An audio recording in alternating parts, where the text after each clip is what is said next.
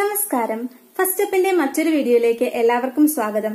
ഇന്ന് നമ്മൾ ഡിസ്കസ് ചെയ്യാൻ പോകുന്നത് എൻസാം ഇമ്മൊബിലൈസേഷൻ എന്ന ടോപ്പിക്കാണ് മൈക്രോബയോളജി ബയോടെക്നോളജി ആൻഡ് മെഡിക്കൽ ആസ്പെക്ട്സിൽ താഴെയായിട്ട് കിടക്കുന്ന ഒരു ടോപ്പിക്കാണ് നമ്മുടെ എൻസാം ഇമ്മൊബിലൈസേഷൻ സിമ്പിൾ ആണ്. കാര്യങ്ങളൊക്കെ ജസ്റ്റ് ഒന്ന് പറഞ്ഞു പോവാം.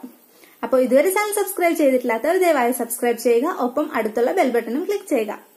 So let's move on to the video enzyme immobilisation പറയുന്നതിന് മുമ്പ് എന്താണ് എൻസൈംസ് എന്ന്? ഒന്ന് ആലോചിച്ചെടുത്ത് നമ്മൾ കഴിഞ്ഞ എൻസൈംസിന്റെ ക്ലാസ്സിൽ പറഞ്ഞായിരുന്നു അല്ലെ? Enzymes are basically proteins they act as biocatalyst and are synthesised by plants animals or microorganisms ഇത്രയും കാര്യങ്ങൾ നമ്മൾ കഴിഞ്ഞ എൻസൈംസിന്റെ ക്ലാസ്സിൽ പഠിച്ചിരുന്നു. ഇനി എൻസൈം ഇമ്മൊബിലൈസേഷൻ എന്താണെന്ന് നോക്കാം. എൻസൈം ഇമ്മൊബിലൈസേഷൻ വളരെ സിമ്പിൾ ആയിട്ട് പറയുകയാണെങ്കിൽ നമ്മുടെ എൻസൈമിനെ ഒരു പർട്ടിക്കുലർ സബ്സ്ട്രേറ്റിൽ അല്ലെങ്കിൽ ഒരു മാട്രിക്സിൽ ഈ എൻസൈമിനെ മൂവ് ചെയ്യാൻ പറ്റാത്ത രീതിയിൽ ഇമ്മൊബിലൈസ് ആക്കി വെക്കുന്നു. ഇത്രേ ഉള്ളൂ എൻസൈം ഇമ്മൊബിലൈസേഷൻ ഇത് എന്തിനു വേണ്ടിയാണ്? റിയാക്ഷൻസ് ക്യാരി ഔട്ട് ചെയ്യാനുള്ള ഒരു എളുപ്പത്തിന് വേണ്ടിയും അതുപോലെ കോസ്റ്റ് ഓഫ് പ്രൊഡക്ഷൻ കുറയ്ക്കാൻ വേണ്ടിയിട്ടും ഒക്കെയാണ് ഈ എൻസൈം ഇമ്മൊബിലൈസേഷൻ എന്ന ടെക്നിക്ക് ഡെവലപ്പ് ചെയ്തത്. ഇനി എൻസൈം ഇമ്മൊബിലൈസേഷൻ ടൈമിൽ എങ്ങനെയാണ് റിയാക്ഷൻസ് ക്യാരി ഔട്ട് ചെയ്യുന്നതെന്ന് നോക്കാം. എൻസൈം ഇമ്മൊബിലൈസേഷനിൽ നമ്മൾ പറഞ്ഞല്ലോ ഒരു മാട്രിക്സിൽ അല്ലെങ്കിൽ ഒരു സപ്പോർട്ടിൽ നമ്മുടെ എൻസൈമിനെ മൂവ് ചെയ്യാൻ പറ്റാത്ത രീതിക്ക് വെച്ചേക്കുവാണ്. അപ്പോ സാധാരണ ഒരു റിയാക്ഷൻ എങ്ങനെയാണ് നടക്കുന്നത് എൻസൈമും സബ്സ്ട്രേറ്റും കൂടെ റിയാക്ട് ചെയ്തിട്ട് ഒരു പ്രോഡക്റ്റിനെ കിട്ടും അല്ലെ? അതേ കാര്യം തന്നെയാണ് ഇതിൽ നടക്കുന്നത്. നമ്മുടെ എൻസൈമിനെ മാട്രിക്സിൽ ഇമ്മൊബിലൈസ് ചെയ്ത് വെച്ചേക്കാന്ന് മാത്രമേ ഉള്ളൂ ഡിഫറൻസ് സബ്സ്ട്രേറ്റ് വരുന്നു. ഈ ഇമ്മൊബിലൈസ്ഡ് ആയിട്ടുള്ള എൻസൈമുമായിട്ട് റിയാക്ട് ചെയ്യുന്നു. പ്രോഡക്റ്റ് ഉണ്ടാകുന്നു. ഈ പ്രോഡക്റ്റിനെ റിക്കവർ ചെയ്തെടുക്കുന്നു. ബാക്കിയുള്ള സബ്സ്ട്രേറ്റിനെ വാഷ് ഔട്ട് ചെയ്യുന്നു. അപ്പോ ബാക്കിയുള്ള ഒരു എൻസൈം അതിനകത്ത് തന്നെ ഉണ്ടാകും. ഈ മൊബിലൈസ്ഡ് സ്റ്റേറ്റിൽ തന്നെ ഉണ്ടാകും. വീണ്ടും സബ്സ്ട്രേറ്റ് വരും റിയാക്ഷൻ നടക്കും പ്രോഡക്റ്റ് ഉണ്ടാകും ഈ പ്രോഡക്റ്റിനെ റിക്കവർ ചെയ്യും സബ്സ്ട്രേറ്റിനെ വാഷ് ഔട്ട് ചെയ്യും. അങ്ങനെ ഈ റിയാക്ഷൻ കണ്ടിന്യൂ ചെയ്യാൻ പറ്റും. ഇനി എന്താണ് ഈ എൻസൈം ഇമ്മൊബിലൈസേഷൻ കൊണ്ടുള്ള ബെനിഫിറ്റ് അല്ലെന്നുണ്ടെങ്കിൽ എന്താണ് അതിന്റെ അഡ്വാന്റേജ് എന്ന് നോക്കാം. ഏറ്റവും ഇമ്പോർട്ടന്റ് ആയിട്ടുള്ള കാര്യം എന്താ? എൻസൈംസിനെ റീയൂസ് ചെയ്യാൻ പറ്റും. സാധാരണ ഒരു എൻസൈം സബ്സ്ട്രേറ്റ് റിയാക്ഷൻ നടന്നു കഴിഞ്ഞ് ആ എൻസൈമിനെ റിക്കവർ ചെയ്തെടുക്കുക എന്ന് പറഞ്ഞാൽ ഭയങ്കര കോസ്റ്റ്ലി ആയിട്ടുള്ള കാര്യമാണ്. അതുകൊണ്ട് തന്നെ ഇൻഡസ്ട്രിയിൽ വളരെ ലോസ് സംഭവിക്കുന്ന ഒരു കാര്യമാണ്. അപ്പോ ഈ എൻസൈം ഇമ്മൊബിലൈസേഷൻ കൊണ്ട് എൻസൈം അതിൽ തന്നെ ഇരിക്കുകയാണല്ലോ അപ്പം സബ്സ്ട്രേറ്റിനെ വാഷ് ഔട്ട് ചെയ്ത് കളഞ്ഞു പ്രോഡക്റ്റിനെ റിക്കവർ ചെയ്ത് കഴിഞ്ഞ് കഴിയുമ്പോൾ നമ്മുടെ എൻസൈം ബാക്കി ഇവിടെ തന്നെ ഉണ്ടാവും. അടുത്ത റിയാക്ഷൻ ക്യാരി ഔട്ട് ചെയ്യാം അപ്പോൾ എൻസൈമിന് എന്താണ്? നമുക്ക് റീയൂസ് ചെയ്യാൻ പറ്റും. രണ്ടാമത്തെ കാര്യം ഫംഗ്ഷണൽ എഫിഷ്യൻസി റിയാക്ഷന്റെ ഫംഗ്ഷണൽ എഫിഷ്യൻസി കൂടും. അതുപോലെ ഒരു മിനിമൽ റിയാക്ഷൻ ടൈം മതി. ഈ ഒരു റിയാക്ഷൻസ് ക്യാരി ഔട്ട് ചെയ്യാൻ വേണ്ടിയിട്ട്. പിന്നെന്താ? ഒരു ഹൈ എനർജി സബ്സ്ട്രേറ്റ് റേഷ്യോ ആണ്. പിന്നെ ക്യാപിറ്റൽ കോസ്റ്റ് ഉണ്ടല്ലോ. ഒരു ഇൻഡസ്ട്രിയുടെ ക്യാപിറ്റൽ കോസ്റ്റ് ഈ ഒരു എൻസമാറ്റിക് റിയാക്ഷൻ ഇൻഡസ്ട്രിയിൽ ക്യാരി ഔട്ട് ചെയ്യാനുള്ള ഒരു ക്യാപിറ്റൽ കോസ്റ്റ് അത് വളരെ കുറവായിരിക്കും. പിന്നെ കണ്ടാമിനേഷൻ കണ്ടാമിനേഷനുള്ള ചാൻസസ് കുറവാണ്. അതുപോലെ കിട്ടുന്ന പ്രോഡക്ട്സ് നല്ല സ്റ്റേബിൾ പ്രോഡക്ട്സ് ആയിരിക്കും. അപ്പൊ ഇത്രയുമാണ് ഈ എൻസാം ഇമ്മൊബിലൈസേഷൻ കൊണ്ടുള്ള ബെനിഫിറ്റ്സ് ഇനി പറയാൻ പോകുന്നത് മെത്തേഡ്സ് ഓഫ് ഇമ്മൊബിലൈസേഷൻ ആണ്. അഞ്ച് മെത്തേഡ്സ് ആണ് ഡിസ്കസ് ചെയ്യുന്നത്. ഫസ്റ്റ് വൺ ഈസ് അഡ്സോപ്ഷൻ പിന്നെ ഉള്ളത് കോവാലൻ ബോണ്ടിങ് മൂന്നാമത്തത് ആണ് എൻ ട്രാപ്പിംഗ് നാലാമത്തത് ക്രോസ് ലിങ്കിങ് അല്ലെങ്കിൽ കോ പോളിമറൈസേഷൻ അഞ്ചാമത്തത് എൻകാപ്സുലേഷൻ ഈ അഞ്ച് മെത്തേഡ്സ് ആണ് എൻസാം ഇമ്മൊബിലൈസേഷന് വേണ്ടി മെയിൻലി യൂസ് ചെയ്യുന്നത്. ഈ ഓരോ മെത്തേഡ്സും നമുക്ക് ഡീറ്റെയിൽ ആയിട്ട് പഠിക്കാം ഓക്കെ അപ്പോ ആദ്യം നമ്മൾ ഡിസ്കസ് ചെയ്യാൻ പോകുന്നത് അഡ്സോപ്ഷൻ മെത്തേഡാണ് അഡ്സോപ്ഷൻ എന്ന് പറയുമ്പോൾ ഏറ്റവും സിംപ്ലസ്റ്റ് ആൻഡ് ഓൾഡസ്റ്റ് മെത്തേഡാണ് ഇതിൽ നമുക്ക് കാണാം നമ്മുടെ എൻസൈംസ് നമ്മുടെ സപ്പോർട്ടിന്റെ എക്സ്റ്റേണൽ സർഫസിൽ അബ്സോർബ്ഡ് ആയിട്ട് ഇരിക്കുവാണ് അല്ലെ? അപ്പോ എന്താണ്? എക്സ്റ്റേണൽ സർഫസ് ഓഫ് ദ സപ്പോർട്ടിലാണ് നമ്മുടെ എൻസൈംസ് പിടിച്ചിരിക്കുന്നത്. ഇതിൽ എന്തൊക്കെയാണ് സപ്പോർട്ടായിട്ട് ഉപയോഗിക്കുന്നതെന്ന് നോക്കാം. മിനറൽ സപ്പോർട്ട്സ് എന്ന് പറയുമ്പോൾ അലുമിനിയം ഓക്സൈഡ് അതുപോലെ ക്ലേ ഒക്കെ ഉപയോഗിക്കുന്നുണ്ട് ഈ അഡ്സോപ്ഷന് പിന്നെ ഉള്ളത് ഓർഗാനിക് സപ്പോർട്ടായിട്ട് ഇപ്പൊ സ്റ്റാർച്ച് ഒക്കെ ഓർഗാനിക് സപ്പോർട്ടായിട്ട് ഉപയോഗിക്കുന്നുണ്ട്. അതുപോലെ എന്താ അയൺ എക്സ്ചേഞ്ച് റെസിൻസ് അതൊക്കെയാണ് ഈ അഡ്സോപ്ഷൻ കേസിൽ സപ്പോർട്ടായിട്ട് ഉപയോഗിക്കുന്നത്.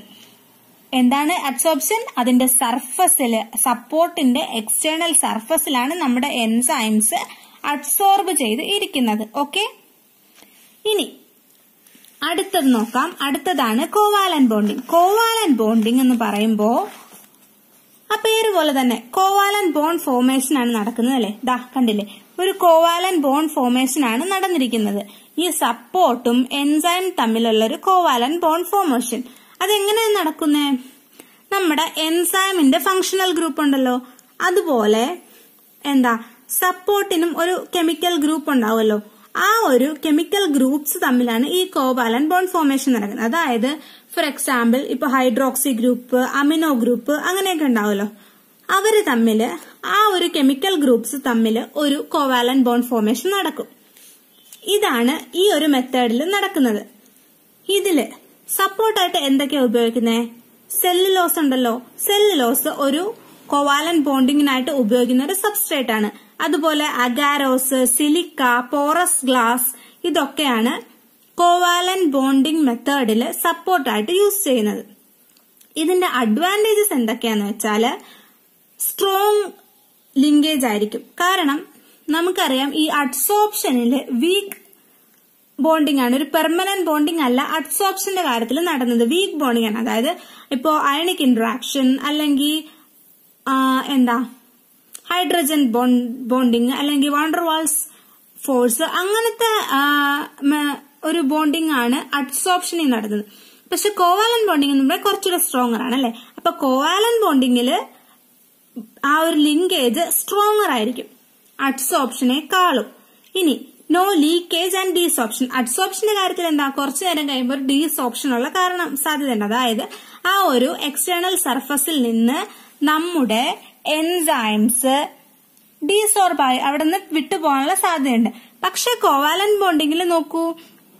എന്താ? ഒരു സ്ട്രോങ് കോവാലൻ ബോണ്ടാണ് ഫോം ചെയ്തിരിക്കുന്നത്. അതുകൊണ്ട് എൻസൈംസ് അത്ര വേഗമൊന്നും ഡീസോബാവി പോകത്തില്ല ലീക്കേജും ഉണ്ടാവത്തില്ല. പിന്നെ ഇത് കമ്പാരറ്റീവ്ലി സിമ്പിൾ ആണ്. ഇനി പറയാൻ പോകുന്ന മെത്തേഡ്സിനെ വെച്ച് നോക്കുമ്പോൾ കോവാലൻ ബോണ്ടിങ്ങും കമ്പാരറ്റീവ്ലി സിമ്പിൾ ആണ്. പിന്നെ ഇതിനൊരു വൈഡ് റേഞ്ച് ഓഫ് ആപ്ലിക്കേഷൻസ് ഉണ്ട്. ഒരുപാട് ഇപ്പൊ നമ്മൾ പറഞ്ഞല്ലോ അഗാരോസ് സെല്ലോസ് പോറസ് ഗ്ലാസ് അതുപോലെ ഒരുപാട് സപ്പോർട്ട് മെറ്റീരിയൽസ് യൂസ് ചെയ്യാൻ പറ്റുന്ന ഒരു മെത്തേഡാണ് കോവാലൻ ബോണ്ടിങ് ഇനി അടുത്തതാണ് നമ്മുടെ എൻട്രാപ്മെന്റ് എൻട്രാപ്മെന്റ് എന്ന് പറയുമ്പോൾ എന്താ? Enzymes are physically entrapped in a porous matrix ഒരു പോറസ് മാട്രിക്സിൽ നമ്മുടെ എൻസൈംസ് ഫിസിക്കലി ട്രാപ്പ് ചെയ്തേക്കാണ് എൻട്രാപ്പ് ചെയ്തേക്കുവാണ്. അതായത് ഒരു പോറസ് ആയിട്ടുള്ള മാട്രിക്സ് ആ മാട്രിക്സിൽ നമ്മുടെ എൻസൈംസ് എൻട്രാപ്ഡ് ആയിരിക്കുകയാണ് അല്ലെ? ഇതിൽ എന്താ? ഈ എൻസൈമും സബ്സ്ട്രേറ്റും തമ്മിലുള്ള ഒരു ബോണ്ട് ഉണ്ടല്ലോ. അത് കോവാലൻ ബോണ്ടും ആകാം നോൺ കോവാലൻ ബോണ്ടും ആണ്. എന്തായാലും ഇത് എൻട്രാപ്ഡ് ആയിട്ടിരിക്കുകയാണ് നമ്മുടെ മാട്രിക്സിനുള്ളിൽ ഓക്കെ ഇനി ഈ ഒരു മാട്രിക്സിന്റെ പോർ സൈസ് ഉണ്ടല്ലോ അത് ഡിഫറെന്റ് ആയിരിക്കും. അപ്പൊ ഏത് എൻസൈം ആണ് ഉപയോഗിക്കുന്നത്? അതിനെ ഡിപ്പെൻഡ് ചെയ്തായിരിക്കും എന്ത് മാട്രിക്സ് വേണമെന്ന് തീരുമാനിക്കുന്നത്.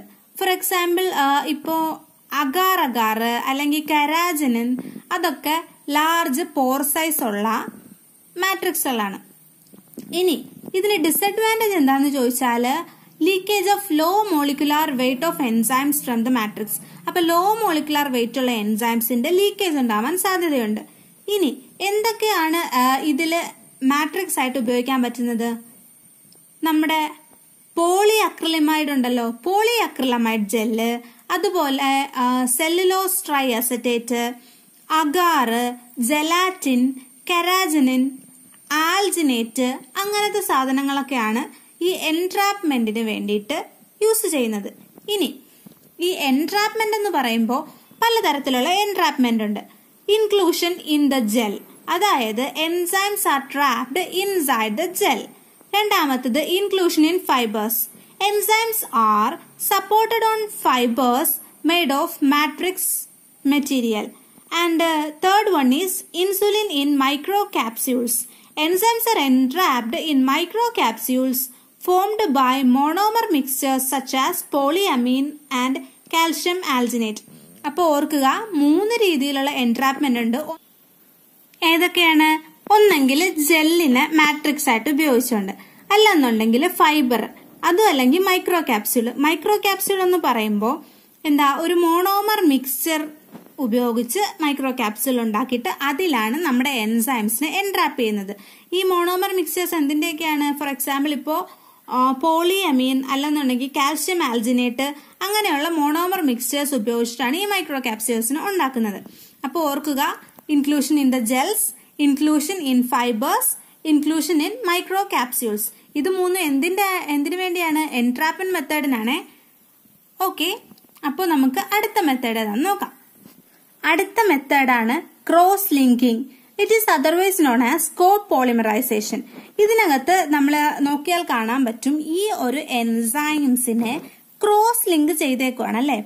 അപ്പോൾ എന്താണ് കോ പോളിമറൈസേഷൻ എന്ന് സിമ്പിൾ ആയിട്ട് പറയാം. പോളി ഫങ്ഷണൽ റിയേജൻസ് ഉപയോഗിച്ച്. അതായത് ഫോർ എക്സാമ്പിൾ ഇപ്പൊ ഗ്ലൂട്ടർ ആൾഡിഹൈഡ് അല്ലെന്നുണ്ടെങ്കിൽ ഡയാസോഡിയം സോൾട്ട് അങ്ങനെയുള്ള ഈ പോളി ഫങ്ഷണൽ റിയേജൻസ് ഉപയോഗിച്ച് ഡിഫറെന്റ് ഗ്രൂപ്പ്സ് ഓഫ് എൻസൈംസിനെ കോവാലൻ ബോണ്ട് വഴി എന്ത് ബോണ്ട് വഴി? കോവാലൻ ബോണ്ട് വഴി ക്രോസ് ലിങ്ക് ചെയ്തേക്കുകയാണ്. അങ്ങനെയാണ് ക്രോസ് ലിങ്കിങ് അഥവാ പോളിമറൈസേഷൻ മെത്തേഡ് പ്രാക്ടീസ് ചെയ്യുന്നത്. ഇതിലുപയോഗിക്കുന്ന പോളിഫങ്ഷണൽ റിയേജൻസ് ഏതൊക്കെയാണ്? ഗ്ലൂട്ടർ ഹൈഡ് അല്ലെന്നുണ്ടെങ്കിൽ ഡയാസോണിയം സോൾട്ട് പിന്നെ അടുത്ത മെത്തേഡാണ് നമ്മുടെ എൻകാപ്സുലേഷൻ എൻകാപ്സുലേഷൻ ആണ് ലാസ്റ്റ് മെത്തേഡ് ഇതിനകത്ത് നമുക്ക് കാണാം ഒരു സെമി പെർമിയബിൾ മെംബ്രെയിൻ അതൊരു ക്യാപ്സ്യൂൾ രൂപത്തിൽ അതിനുള്ളിലാണ് നമ്മുടെ എൻസൈംസിനെ എൻകാപ്സുലേറ്റ് ചെയ്തേക്കുന്നത്. This means enclosing the enzyme in a membrane capsule and this capsule is made up of semi permeable membrane for example ഇപ്പോൾ നൈട്രോസെല്ലുലോസ് അല്ലെന്നുണ്ടെങ്കിൽ നൈലോൺ അങ്ങനെയുള്ള സെമി പെർമിയബിൾ മെംബ്രെയിൻ ഉപയോഗിച്ച് ഇതിനെ encapsulate ചെയ്തേക്കുവാണ്. And the effectiveness of this method depends upon the stability of enzymes inside the capsule ഈ ക്യാപ്സ്യൂളിനുള്ളിലുള്ള enzymes ഉണ്ടല്ലോ അവരുടെ സ്റ്റെബിലിറ്റിയെ depend ചെയ്തിരിക്കും ഈ എൻകാപ്സുലേഷൻ മെത്തേഡിന്റെ സക്സസ് എന്ന് പറയുന്നത്. ഇനി ഇതിന്റെ ഏറ്റവും വലിയ അഡ്വാന്റേജ് എന്ന് പറഞ്ഞാൽ large quantity of enzymes can be immobilized by encapsulation നമുക്കറിയാം ഒരുപാട് എൻസൈംസിനെ ഒരുപാട് ക്വാണ്ടിറ്റി ഓഫ് എൻസൈംസിനെ ഈ എൻകാപ്സുലേഷൻ വഴി എന്താ? ഉപയോഗിക്കാൻ പറ്റും അല്ലേ? പിന്നെ ഇതിന്റെ ഡിസഡ്വാന്റേജ് എന്ന് പറഞ്ഞാൽ ഈ പോർ സൈസ് ലിമിറ്റേഷൻ ആണ്. കാരണം ഇതൊരു സെമി പെർമിബിൾ മെംബ്രൈൻ ആണെന്ന് പറഞ്ഞു അപ്പൊ അതിന്റെ പോർ സൈസ് ലിമിറ്റഡ് ആയതുകൊണ്ട് തന്നെ only a small amount of substrate can cross the membrane കുറച്ച് ഈ സബ്സ്ട്രേറ്റ് ഈ സെമി പെർമിബിൾ മെംബ്രെയിൻ വഴി ഉള്ളിലേക്ക് വന്നാലല്ലേ നമ്മുടെ റിയാക്ഷൻ നടക്കുള്ളൂ. പക്ഷെ ഇതൊരു സെമി പെർമിബിൾ മെംബ്രെയിൻ ആണ്. ഇതിന്റെ പോർ സൈസ് ലിമിറ്റഡ് ആണെങ്കിൽ നമ്മുടെ സബ്സ്ട്രേറ്റിന് ഉള്ളിലേക്ക് വരാൻ ബുദ്ധിമുട്ടാണല്ലോ. അപ്പൊ കുറച്ച് എമൗണ്ട് ഓഫ് സബ്സ്ട്രേറ്റ് ഈ ഉള്ളിൽ വരത്തുള്ളൂ. അതാണ് ഇതിന്റെ ഒരു ഡിസഡ്വാന്റേജ് എന്ന് പറയുന്നത്. ഓക്കെ ഇനി ഒന്ന് ആലോചിച്ച് നോക്കിയേ. നമ്മുടെ ഈ എൻസൈം ഇമ്മൊബിലൈസേഷൻ എന്ന് പറയുമ്പോൾ എൻസൈമിനെ ആദ്യം എക്സ്ട്രാക്ട് ചെയ്തെടുക്കണം ഐസൊലേറ്റ് ചെയ്തെടുക്കണം. അപ്പൊ ഇതൊക്കെ ഒരു വലിയ ടീഡിയസ് പ്രോസസ് ആണ്. ഒരുപാട് ടൈമും നഷ്ടപ്പെടും. അതുപോലെ എമൗണ്ട് ഓഫ് മണിയും നഷ്ടപ്പെടും അല്ലെ? അപ്പോ മാത്രമല്ല ഈ എൻസൈംസ് കുറെ തവണ ഈ ഒരു എൻസൈം ഇമ്മൊബിലൈസേഷൻ വഴിയുള്ള റിയാക്ഷൻസ് ക്യാരി ഔട്ട് ചെയ്യുമ്പോൾ ഈ എൻസൈമിന്റെ സ്റ്റെബിലിറ്റി നഷ്ടപ്പെടും. അതിന്റെ ഒരു ആക്റ്റീവ്നെസ്സും നഷ്ടപ്പെട്ടു പോകും. എൻസൈം ആക്ടിവിറ്റിയും നഷ്ടപ്പെട്ടു പോകും. അപ്പൊ എന്താ ചെയ്യാ? അങ്ങനെ ആലോചിച്ചപ്പോഴാണ് കുറച്ചുകൂടി ഒരു വെൽ ഡെവലപ്ഡ് ആയിട്ടുള്ള ഒരു മെത്തേഡ് വന്നത്. അതാണ് നമ്മുടെ cell immobilization this cell immobilization can be used as an alternative for this enzyme immobilization എങ്ങനെയായി cell immobilise ചെയ്യുന്നത് നമുക്കറിയാം അല്ലെ? മൈക്രോബ് ഡിറൈവ്ഡ് ആയിട്ടുള്ള എൻസൈംസ് ഉണ്ടെന്ന് ആദ്യമേ നമ്മൾ പറഞ്ഞു. അപ്പോൾ ഈ മൈക്രോബിയൽ സെൽസിനെ തന്നെയാണ് ഇമ്മൊബിലൈസ് ചെയ്യുന്നതെങ്കിലോ? നമുക്ക് നല്ല ആക്റ്റീവ് ആയിട്ടുള്ള സ്റ്റേബിൾ ആയിട്ടുള്ള കുറെ നേരം ആക്റ്റീവ് ആയിട്ടുള്ള എൻസൈംസിനെ പ്രൊഡ്യൂസ് ചെയ്യാം. കാരണം അതിന്റെ നാച്ചുറൽ എൻവയോൺമെന്റിൽ തന്നെയാണ് ഈ എൻസൈം പ്രൊഡ്യൂസ് ചെയ്യുന്നത്. അതുകൊണ്ട് തന്നെ അതിന്റെ നാച്ചുറൽ കോൺഫിഗറേഷനിലിരിക്കും അതുപോലെ ഈ ഐസൊലേഷൻ എക്സ്ട്രാക്ഷൻ പോലെയുള്ള ടി ഡി എസ് പ്രോസസ്സിനുള്ള എമൗണ്ടും ടൈമും ഒക്കെ ലാഭിക്കാൻ പറ്റും. ഈ ഇമ്മൊബിലൈസ്ഡ് ആയിട്ടുള്ള സെൽസ് എൻസൈംസിനെ പ്രൊഡ്യൂസ് ചെയ്യും. ഈ എൻസൈംസും സബ്സ്ട്രേറ്റും തമ്മിൽ റിയാക്ട് ചെയ്യും. പ്രോഡക്റ്റിനെ തരും. നമുക്ക് അത്രയും നഷ്ടമില്ല. ലാഭമാണ്. അപ്പൊ ആലോചിക്കുക സെൽ ഇമ്മൊബിലൈസേഷൻ ഒരു അഡ്വാൻസ്ഡ് മെത്തേഡാണ് ഈ എൻസൈം ഇമ്മൊബിലൈസേഷന്റെ ഒരു അഡ്വാൻസ്ഡ് രീതിയാണ് ഇത്. ഒരുപാട് ടീഡിയസ് ആയിട്ടുള്ള പ്രോസസ്സിനെ സിമ്പിൾ ആക്കും. മാത്രമല്ല ഒരു സിംഗിൾ സ്റ്റെപ്പിൽ തന്നെ മൾട്ടിപ്പിൾ എൻസൈംസിനെ യൂസ് ചെയ്തുകൊണ്ട് റിയാക്ഷൻ നടത്താനൊക്കെ ഈ ഒരു സെൽ ഇമ്മൊബിലൈസേഷൻ മെത്തേഡ് വഴി സാധിക്കും. അപ്പോ എന്താ സെൽ ഇമ്മൊബിലൈസേഷൻ മെത്തേഡാണ് യൂഷ്വലി ഫുഡ് ഇൻഡസ്ട്രിയിലും കൂടുതലായിട്ടും ഉപയോഗിക്കുന്നത്.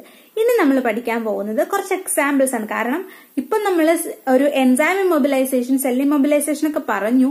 ഇനി അത് ഫുഡ് ഇൻഡസ്ട്രിയിൽ എവിടെയൊക്കെ ഉപയോഗിക്കുന്നതെന്ന് പഠിക്കണമല്ലോ.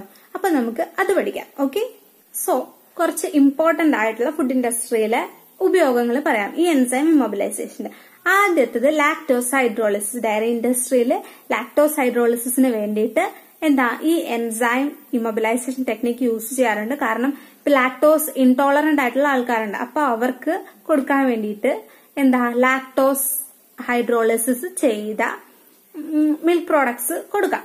അപ്പോൾ അതിനു വേണ്ടിയിട്ട് ഈ ലാക്ടോസ് ഹൈഡ്രോളിസിന് എൻസൈം ഇമ്മൊബിലൈസേഷൻ ചെയ്യുന്നുണ്ട്. പിന്നെന്താ നമ്മുടെ ആർട്ടിഫിഷ്യൽ സ്വീറ്റ്നർ ആയിട്ടുള്ള ഒരു അസ്പാർട്ടൈമില്ലേ ഈ അസ്പാർട്ടൈമിന്റെ പ്രൊഡക്ഷന് വേണ്ടിയിട്ട് തെർമോലൈസിൻ തെർമോലൈസിൻ എന്നൊരു എൻസൈമിനെ ഇമ്മൊബിലൈസ് ചെയ്തിട്ട് ഈ അസ്പാർട്ടൈമിന്റെ പ്രൊഡക്ഷന് വേണ്ടി യൂസ് ചെയ്യുന്നുണ്ട്. പിന്നെ കേസിൻ ഹൈഡ്രോളിസിസ് കേസിൻ ഹൈഡ്രോളിസിന് വേണ്ടിയിട്ടും ഈ എൻസൈം ഇമ്മൊബിലൈസേഷൻ യൂസ് ചെയ്യുന്നുണ്ട്. അതിൽ യൂസ് ചെയ്യുന്ന എൻസൈം ഏതാണ്? നമ്മുടെ പ്രോട്ടിയേസസ് ആണ്. അതുപോലെ ബിയർ ക്ലാരിഫിക്കേഷന് വേണ്ടിയിട്ടും പ്രോട്ടിയേസ് എൻസൈമിനെയാണ് ഇമ്മൊബിലൈസ് ചെയ്തിട്ടാണ് എന്താ? ബിയർ ക്ലാരിഫിക്കേഷൻ ക്യാരി ഔട്ട് ചെയ്യുന്നത്. പിന്നെ നമ്മുടെ നേരത്തെ പറഞ്ഞല്ലേ ജാംസ് ജെല്ലീസ് അതുപോലെ സിറപ്സ് ഒക്കെ ഫ്രൂട്ട്സിൽ നിന്ന് വെജിറ്റബിൾസ് നിന്നൊക്കെ ഉണ്ടാക്കുന്ന ഇതിനൊക്കെ എൻസൈം ഇമ്മൊബിലൈസേഷൻ ആപ്ലിക്കബിൾ ആണ്. പിന്നെന്താ നമ്മുടെ ട്രാൻസ് ഫാറ്റ് ഫ്രീ ആയിട്ടുള്ള ഓയിൽ അല്ലെങ്കിൽ ഹെൽത്തി ആയിട്ടുള്ള കുക്കിംഗ് ഓയിൽസ് അതിന്റെയൊക്കെ പ്രൊഡക്ഷന് വേണ്ടിയിട്ട് നമ്മുടെ ലിപ്പേസ് എൻസൈം ഉണ്ടല്ലോ ലിപ്പേസ് എൻസൈമിനെ ഇമ്മൊബിലൈസ് ചെയ്തിട്ടാണ് ഈ ട്രാൻസ് ഫാറ്റ് ഫ്രീ ആയിട്ടുള്ള ഓയിലൊക്കെ ഉണ്ടാക്കുന്നത്. പിന്നെ ഹൈ ഫ്രക്ടോസ് കോൺ സിറപ്പ് അത് എപ്പോഴും ചോദിക്കാണ് ഹൈ ഫ്രക്ടോസ് കോൺ സിറപ്പ് ഈ എൻസൈം ഇമ്മൊബിലൈസേഷന് ഒരു എക്സാമ്പിൾ ആണ്. പിന്നെ എന്താ വരുന്നേ?